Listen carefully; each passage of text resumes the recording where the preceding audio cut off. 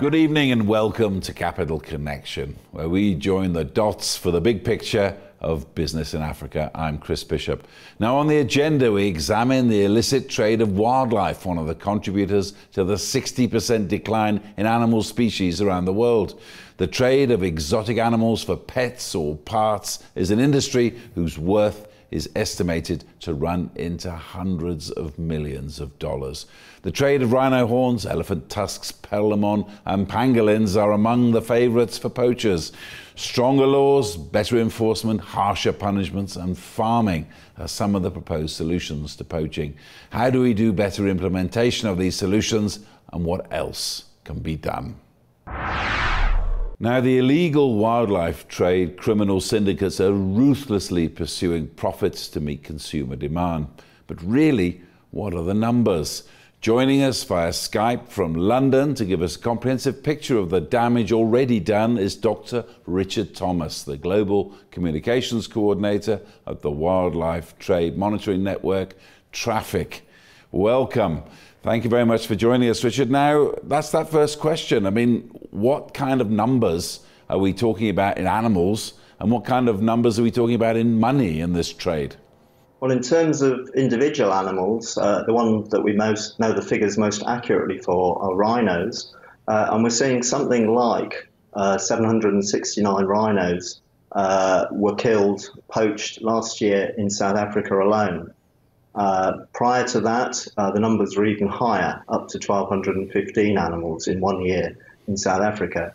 And it's starting to have a knock on effect that rhino populations are beginning to fall. The other iconic animal, African animal, that's being heavily impacted by poaching is the African elephant. Uh, we don't know quite as precisely how many uh, individuals are being killed, but it's of the order of 20,000 animals per year uh, and it's obviously uh, unacceptably way too high. And the saddest part about the whole story you're painting here is that as the animals become more scarce, their value goes up, which presumably attracts even more gangs looking for them. Precisely, we can get into a, a vicious circle here where because things are becoming rarer, their value goes up, and the demand, if it's not, uh, if it's carrying on or even increasing, uh, it will inevitably lead to the extinction of these species. What can be done about it?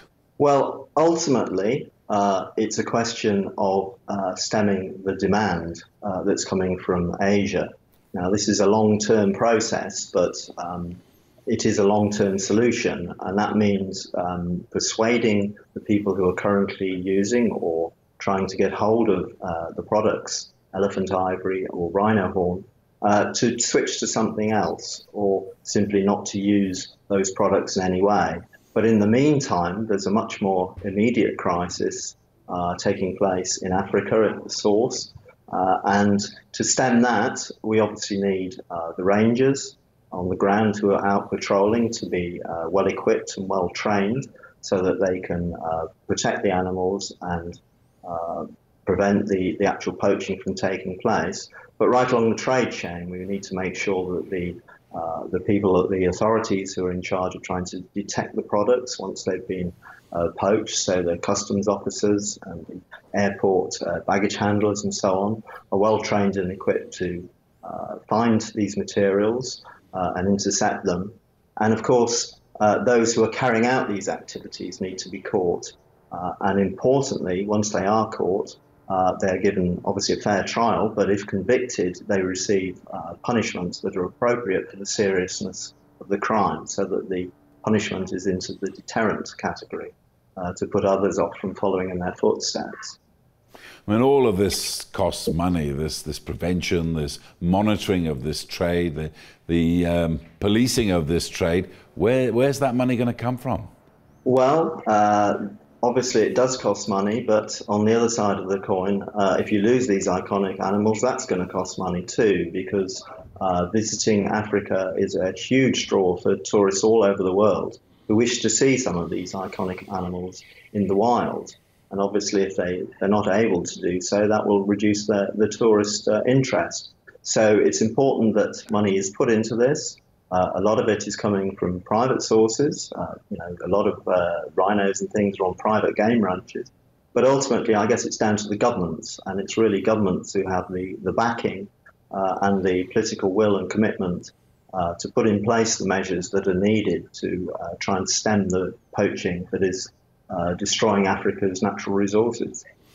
Thank you very much for your time and insights. That was Richard Thomas, the Global Communications Coordinator at Traffic.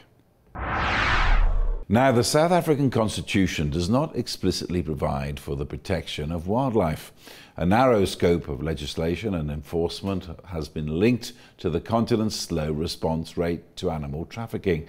Now, joining us now to discuss the limitation and prospects for development in the way of environmental law is Aadila Agjee, an attorney at the Centre for Environmental Rights. Thank you very much for joining us. Um, it seems that the, the laws here at the moment, they're, they're full of holes when it comes to animals. What can be done about it? Well, we have quite a vast array of well thought out um, legislation into, uh, providing for conservation of animals. Um, I think that where we hit a roadblock is the implementation and enforcement of that legislation due to various reasons, and one of them being a lack of capacity and resources and budgetary constraints um, in the Department of Environmental Affairs and the provincial um, conservation agencies. That's one of the problems, isn't it? I was mentioned uh, earlier in the program that who's going to pay for all of this? And government coffers the world over are running dry. Yes, there are decreasing budgets every year. Um, the National um, Department of Environmental Affairs has a number of, of different focuses, and uh, wildlife is one, and conservation is one of the smaller um, aspects of all the things that they have to deal with, and so it doesn't get a lot of that pie of the budget. So, could any changes to the law actually do any um, good in bearing in mind that there is little money? Yes. Well, we need to start looking at innovative, innovative ways um, in which to deal with this problem. Um, the law alone can't solve the problems, but certainly can assist. So we've got to look at um, deterrence, firstly, um, addressing the, the demand. Um, and the reason that the supply is, is, is so lucrative, supplying that demand is so lucrative um, by uh, syndicates and crime, um, uh, yeah, crime syndicates. The law can help in, um, in, in, being a deterrent in increasing the sentences um, that are currently being uh, imposed on um, wildlife traffickers. Um, while our national legislation um, provides for uh, minimum, sorry, maximum penalties of 10 million rand and 10 years imprisonment per offence, we aren't seeing these um, penalties being translated into actual sentences in the courts. Um, so the deterrent value um, is quite low at the moment. And that's the whole point, though, isn't it? Also, the other end of the deal, the actual law enforcement agencies, do you think they're up to protecting this country's animals from this illegal trade? Mm. Yes, so I mean, certainly a lot has been done in about the last five years um, in ramping up um, capacity in that regard, especially at the Kruger National Park. We, uh, we almost have like a military operation um, and lots of expensive security, surveillance equipment, um, things that have been brought in to deal with, with the rhino poaching crisis. However, uh, while the focus has now been so largely on rhino poaching, there are other animals that um, are losing out. Um, our elephant poaching is on the rise. Um, a lot of the, the less iconic animals like pangolins, which are the most widely trafficked um, and poached um, animals in the world um, are not receiving as much attention um, from the department uh, or, or the, the government um, uh, because of the, the huge rhino poaching crisis. Um, so while we're looking this way, poachers are are going through the back door. And public perception is as well is that if you are caught for something like trafficking an animal, it's highly unlikely in this country that you're going to end up uh, in prison or or these. Why isn't this stuff being enforced?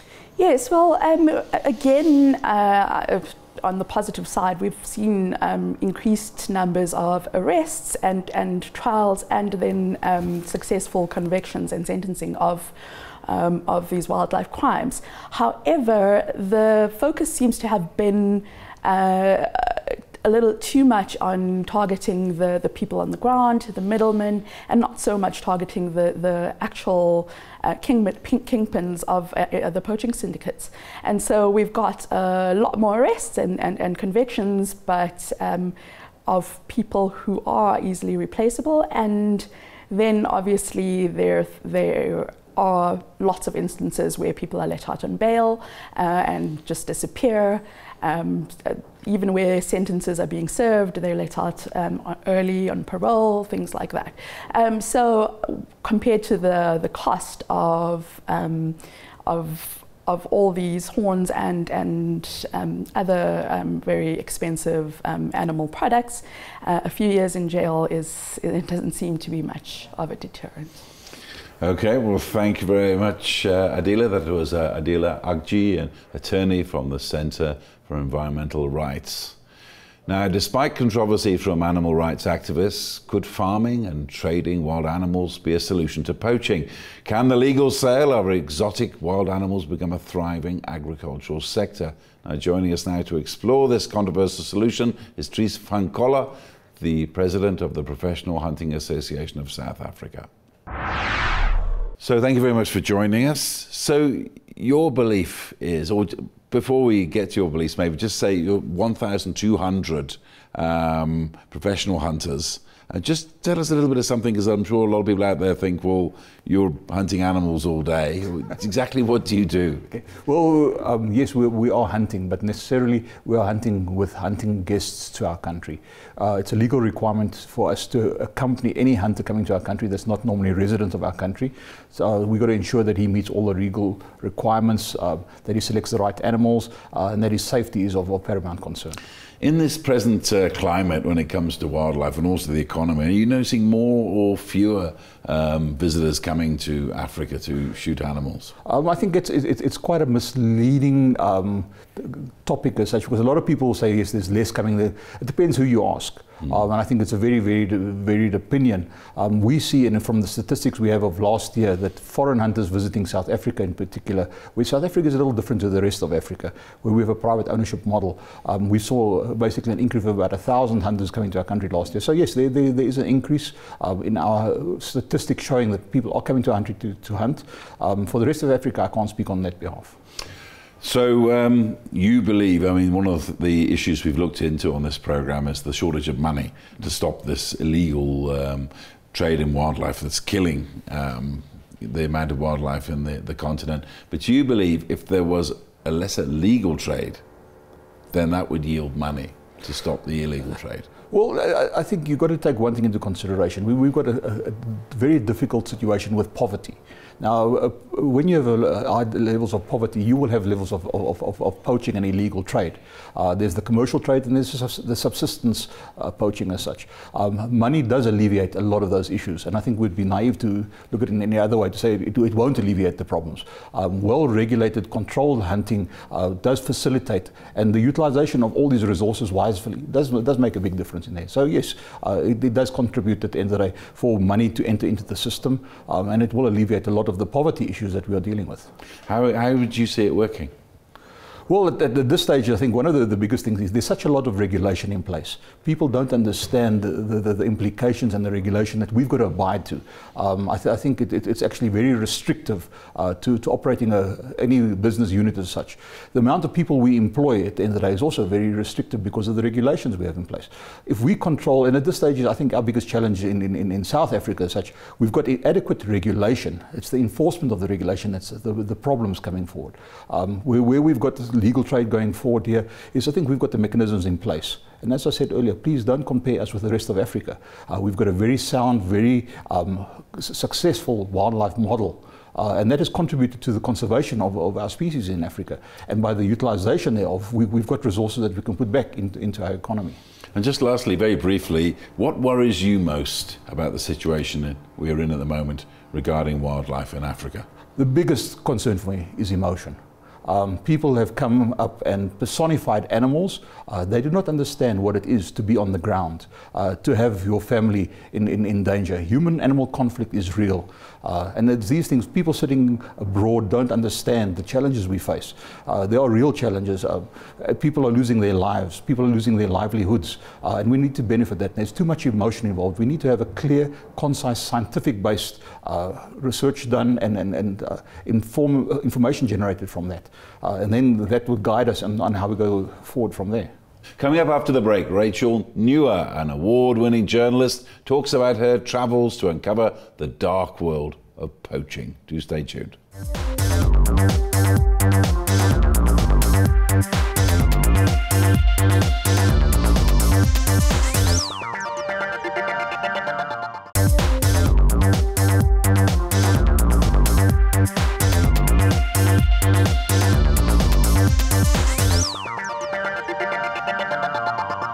Welcome back. You're watching Capital Connection, and I'm Chris Bishop. Now we're joined now by Rachel Nuwer. She is one of the brave individuals who is helping to expose the criminals behind the wildlife trafficking business through her Pulitzer-sponsored book, Poached: Inside the Dark World of Wildlife Trafficking.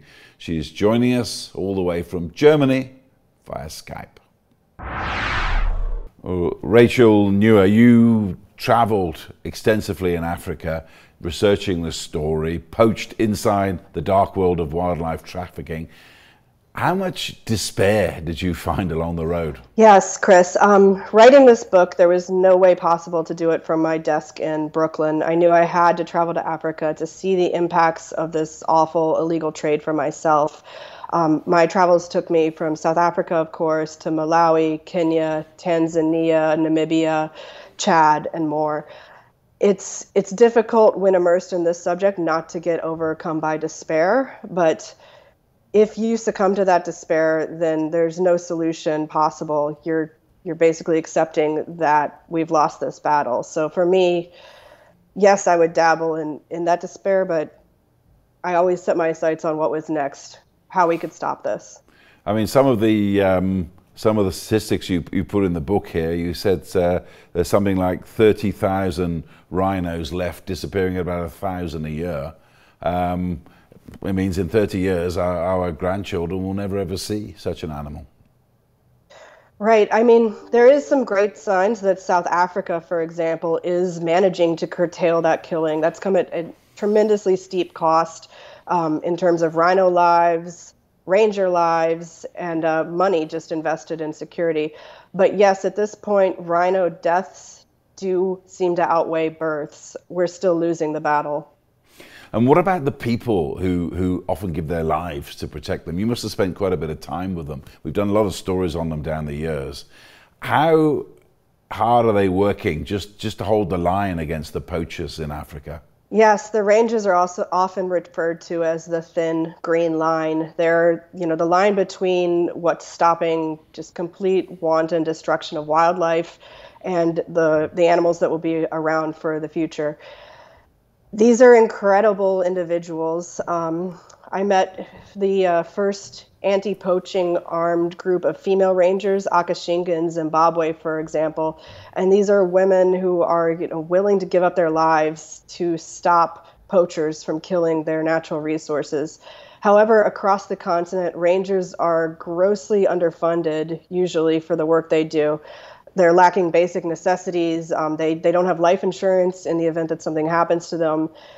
So it, it really bothers me to see us fueling all this money into high tech solutions for stopping illegal wildlife and poaching when really we need to just equip the men and women in the field so that they can better do their job. And the sad uh, part about this whole thing, again, according to your book, this dark world of wildlife trafficking, as you called it, it's worth an estimated $15 billion a year. Now, that figure is going to increase these animals get rarer and rarer. Surely, sadly, this is still good business that's going to attract a lot of people. Oh, for sure. I mean, the great thing about wildlife trafficking, if you're a criminal, is it's a low risk, high reward crime. Um, unlike things like drugs, arms, human trafficking, wildlife criminals, especially those at the top, are hardly ever arrested and they're even more rarely prosecuted for their crimes. Uh, when when they are prosecuted, you know, it might be a small fine or a few years in jail. It's nothing like the punishments uh, you would see with drugs, and we really need to start treating this as what it is: an organized international criminal contraband worth billions of dollars. Otherwise, wildlife really doesn't have a chance. And uh, you know, just just looking to the the future. I mean, how much more desperate do you think are the poachers and criminals? Uh, I remember 20 odd years ago filming some black rhinos in Zimbabwe, mm. and I mm. remember the the the, the ranger told me he said it'd be worth your while to land a full size plane here if you could afford one because the return you'll get on the rhino horn is a lot worth a lot more than the plane. How much more desperate are the poachers getting in the 21st century? Yeah, I mean, the sad fact is uh, human population is only going to continue to skyrocket, and so is poverty. We've got things like climate change exacerbating that. So, unless we find a solution for people, people are going to continue to poach. I mean, it makes total sense to me why someone who's poor would want to get a rhino horn. It's it's hard to argue with that logic. So we need to find solutions for local people living with wildlife, and at the same time, we must start to curtail demand for these things. If people were not buying rhino horn, then people would not be killing rhinos for their horn. And what about uh, the conservationists themselves? The, the difference in attitude sometimes. And I covered a CITES conference back in, I think, 97, oh. where the culling of elephants was lifted. And I can remember the two reactions. You had people from the World Wildlife Foundation and animal defenders who were weeping openly on that day. And yet you had the Zimbabwe Parks and Wildlife Department who were singing celebratory songs because they knew that the departments were going to get more money from the culling of elephants and the selling of the rhino. Have you come across that much in your research for your book? Absolutely. Um, one conservationist once told me that uh, wildlife conservation is actually more complex than nuclear physics, for example, or it's it's people, it's animals, it's ecosystems. It's very, very difficult to disentangle these things and understand exactly what will work because of that people element. So, yes, a lot of people in southern Africa, especially, argue that we should have sustainable use of things like ivory and rhino horn. Others in Kenya, for example, or predominantly in the US, say that no, we should have zero offtake of these, we should have no sale of ivory. The truth is, we don't know what will work, but time is running out for these species. I mean, that's another point again. You know, how how difficult is it to police these things? I mean, I am I'm not a believer in killing anyone or anything.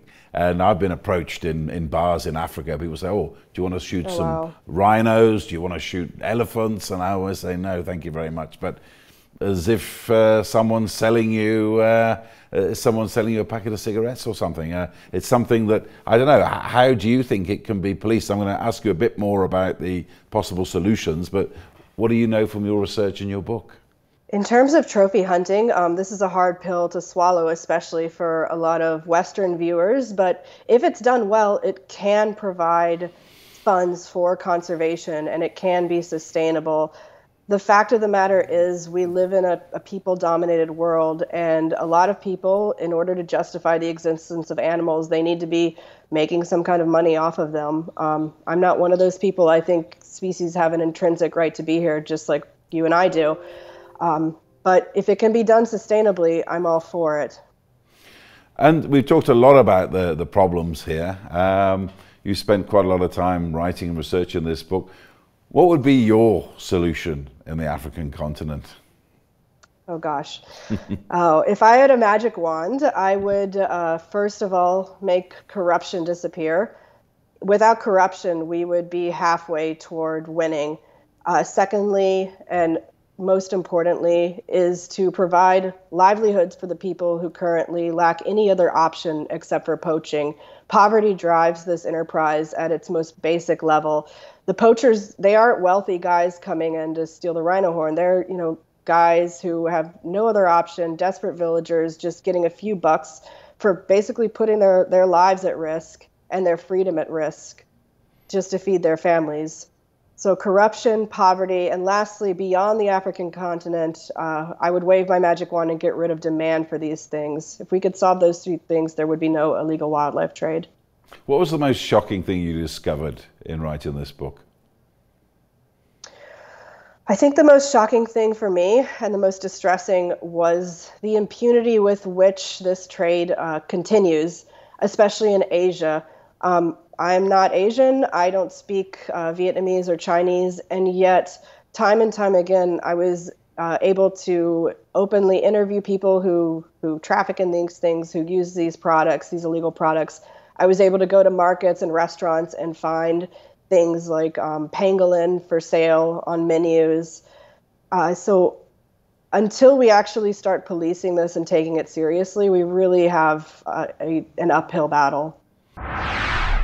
And that's where we leave it. Thank you to all my guests on tonight's edition of Capital Connection. Join us again every Monday and Wednesday at 6:30 p.m. Central African Time. From me, Chris Bishop, it's good night. Thank you.